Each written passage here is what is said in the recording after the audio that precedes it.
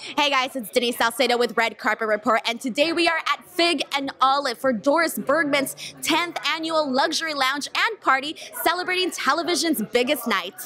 All right, so Ava, we're here at the gifting suite. I gotta ask you, are you excited? How are you feeling? Oh my gosh, I adore gifting suites, so I'm super excited. And my sister's here and my mom's here, so it'll be super fun. And it's so fun because you get to go. You not only do you learn about the vendors and their stories, but you also get some free stuff. That's like one of the best parts of gifting suites. exactly the best part. So now Emmys is coming up on Sunday. You know, there's lots of great shows out there. I want to know what is your favorite show? Oh my gosh, wow. Well, the past few months I've really been into Riverdale. Oh yeah. Like really, really into Riverdale. So I love Riverdale. I love 911. Have you heard of that show? No. Oh my gosh, it's so good. Yeah, no, I love that show a lot. It's like a family show, and I love This Is Us. Yes. Oh God, so sad. Who doesn't love that show? I'm super excited for season two, four. What is it? Four.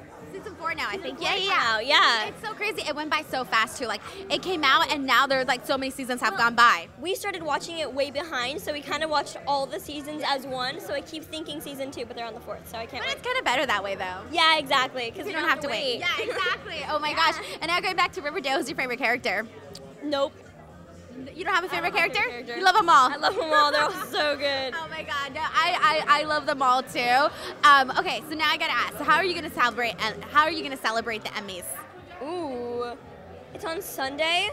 Well, I know Sunday I'm going to a dance class with a ton of my girlfriends. Nice. So I don't know. I might, well, definitely be watching. Yeah. And I'll probably just hang out with my family. We'll all watch together. Maybe like go swimming or do something fun. Oh, that sounds really cool. Yeah, I like that. It'll give me an excuse to do something fun. there you go. Schoolwork or something. what kind of dancing do you do? Um, hip hop.